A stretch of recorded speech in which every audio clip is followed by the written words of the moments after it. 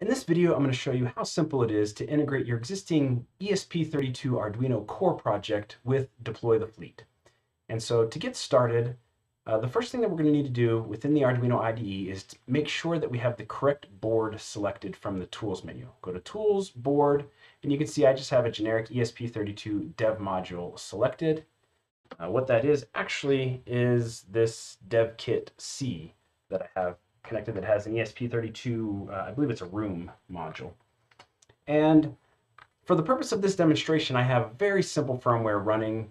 You can see as it starts up, it says deploy the fleet ESP32 example, wait 4321, this is version 1. It then connects to the Wi-Fi and every five seconds prints out that this is version 1.0.0. So you can see that over here in the code. Um, very simple. In the setup, we're just printing out that setup loop, and then we're connecting to the Wi-Fi right here. And then in our main loop, after we've connected to the Wi-Fi, uh, successfully connected, we just every five seconds print out that this is version 1.0.0. So pretend that this is your firmware, your, your project or product firmware uh, that you're now ready to integrate with Deploy the Fleet so that you can deliver over-the-air updates through the service. And so in our case, what we're going to do is we're just going to check for updates every time the device is reset or it starts up. But for your case, you'll want to pick a contextually uh, a spot that makes contextual sense. Like you might have a button that triggers this, a, a web UI that you've integrated with your device that people can navigate to and trigger an update from there, or a switch, or some other interface with your device that you would trigger this update. The concept is the same. It's very simple given the ESP32 uh, deploy the fleet update Arduino library that we've created. And so we have our firmware here. You've got the board manager installed. You've got the ESP32 uh, Arduino core library installed, and you're ready to integrate with deploy the fleet. So the way we would do that is uh, you can see that this firmware is just running over here in the serial monitor. Uh, the first thing that we need to do is we need to get the uh, deploy the fleet Arduino library for ESP32s. And the way we do that is we come to the sketch menu, go to include library, manage libraries, and this will bring up the Arduino library manager. And from here, we're going to filter the search on DTF. And once we do that, you'll see you have two libraries to choose from. Uh, one is the ESP32 update, and the other one is the ESP8266 update. You'll want to install the ESP32 update. Um, just select the latest and install it. You can see I already have it installed, so I'll go ahead and click close, but it's just that easy. Right within the Arduino IDE, you can install the library and get started. And so now we just need to use the library. So we'll come over here and we'll say include DTF underscore ESP32 update.h. And like I said, we're going to just one time on boot, we're going to check for updates. So to do that, I'm just going to create a static boolean here called checked for updates and set it to false because we have not checked for updates yet. And then down in the connected block, because we need to make sure that we're connected to Wi-Fi for this to work, we're going to say if not checked for updates, set checked for updates to true to make sure that we don't do this again. And then this is the magic line of code that integrates us with deploy the fleet. It's very simple. We just say DTF underscore ESP32 update get firmware update. And this function takes two parameters. The first is your custom deploy the fleet update URL, and the second is the version of firmware that is currently running. And so I'm just going to put a placeholder there for the update URL. And then over here, I'm going to use that current version variable we have and pass that in just like that. And now to get the update URL, we're going to come over to deploy the fleet. You'll be logged in. I've already created an example uh, product here called ESP32 example. You can see it has no firmware or devices because of the blank dashboard. But what we need is this update URL right here. So if we click on this handy button, it will copy it, update URL copied, and then we can come back over to here and paste it in. Okay, and that's it. Let's go ahead and click verify to make sure that we didn't make any mistakes and that everything builds. That'll just take a moment.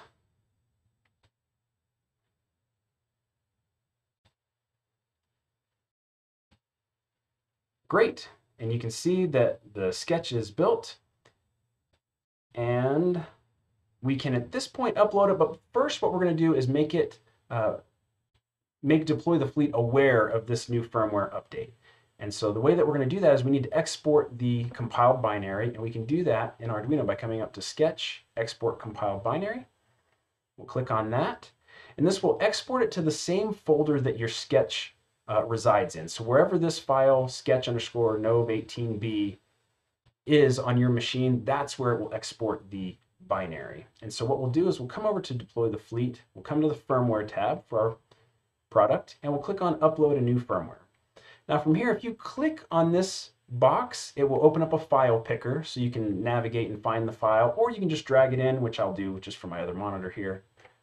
There's that sketch underscore nov18b uh, binary. You can see it'll give you a size here. And then we're just going to put the version number in as 1.0.0. We highly recommend using semantic versioning for these version numbers because future updates to the service will take advantage of that in uh, figuring out update paths and some other logic and some cool features that we have planned. Uh, but you're a lot, you can use any uh, versioning um, convention that you'd like. Uh, just note that semantic versioning, if you use that, will, will give you some extra features out of the box uh, during a future release. And so we'll say this is version 1.0.0, and then we'll click upload. Okay, now you'll see it's marked as the default because it's the only firmware we have at this point. So Deploy the Fleet says that's got to be your default because there are no other firmwares to choose from. And there are no devices associated with this. Well, if we come back over to the IDE, we can change that by uploading our firmware to our device. Now we only need to do this once. Somehow we have to get the deploy the fleet aware firmware onto the device and then all future updates will be handled through the deploy the fleet service. And so I'm just gonna come up here and click on the upload button. And what that's gonna do is it'll compile it. It will load it onto my device. You'll see it'll very quickly write the flash. And uh, once that's finished, it should reboot. We should see that in the serial monitor over here and you'll see it'll say 4321 and then still version 1.0.0. Now what it's going to do at this point is it's going to reach out to deploy the fleet over an HTTPS connection. Uh, TLS certificates are verified. All of that is good to go, so it's nice and secure. And it will say, hey, I'm running version 1.0.0. Is that the correct firmware version or is there an update that I need to upgrade myself with? And so um, We'll just wait a second. And so on this first one, it will say, hey, there's no updates for you. You're already running the most current version of the firmware. And so no updates. And so while we're doing that, if we come over here to the service, we say devices, you see it says no devices have connected yet, but if we hit refresh, we've, uh, it looks like it's still trying to connect to my Wi-Fi. So let's just give it a minute.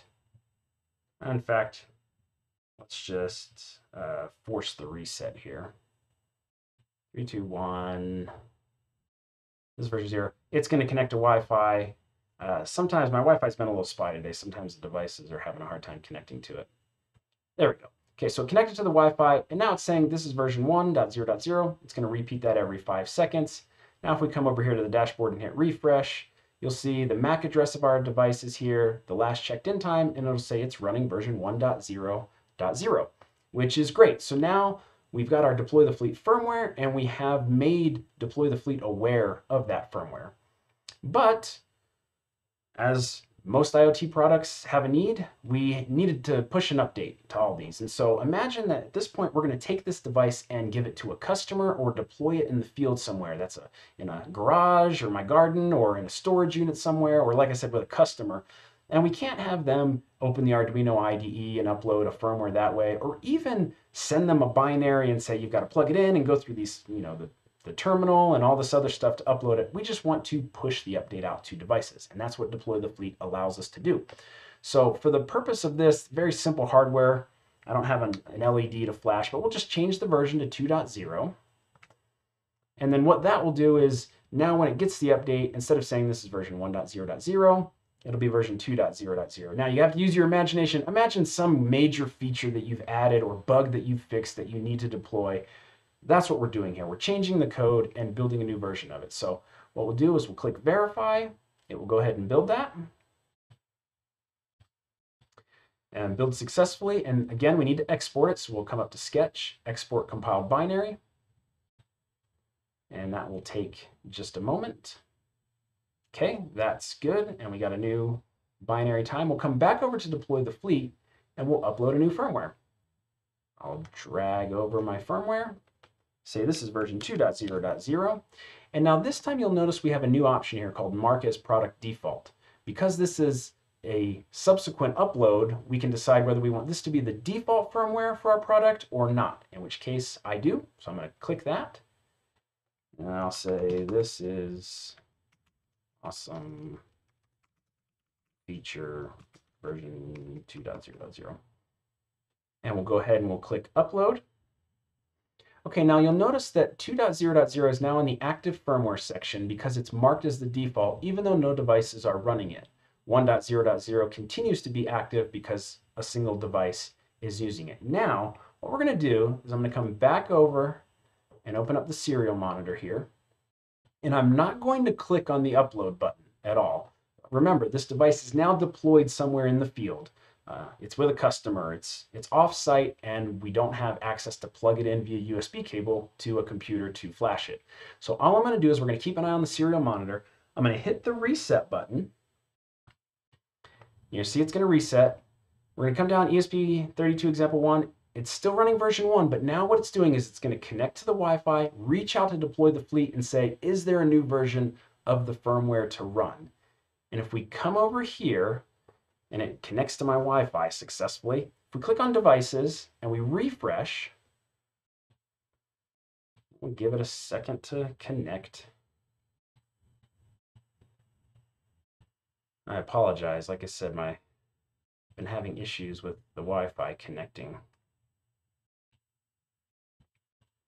Let's reset it again.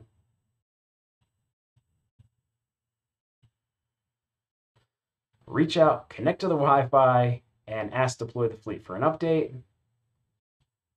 Okay, there we go. Reported version is 1.0.0, but we've sent it version 2.0.0. And so the service is aware that we've sent an update down and now the device is responsible for loading it. And so that's what's happening right now. The device is flashing itself and then it will reboot. And when it reboots, it will check in one more time. Uh, let's see the countdown here. Four, three, two, one. Now it says this is version 2.0. So we are on the correct version now. It's going to reach back out to deploy the fleet, say, hey, is there an update for me? In this case, there's not because it's on the right version, and now it just says connected. This is version 2.0.0. Back over and deploy the fleet. If we refresh our device table, you'll see the reported version goes from that sort of upgrade path to just a solid 2.0.0 because that's the version of the firmware that we are now running. If we come back over to the firmware tab, you'll notice that the only active firmware at this point is 2.0.0 with one device, and it's moved version 1.0.0 down to the inactive firmware table um, because no devices are using that. If we wanted to switch back, however, we could just click on that version of the firmware. There's a little set as default button. We'll click that. We get a little message saying, hey, this is going to change the OTA update logic. Are you sure you want to do that? And I'll say, yes, make it the default. So now it pulls it back up to the active firmware section, and now it says 1.0.0 is the default.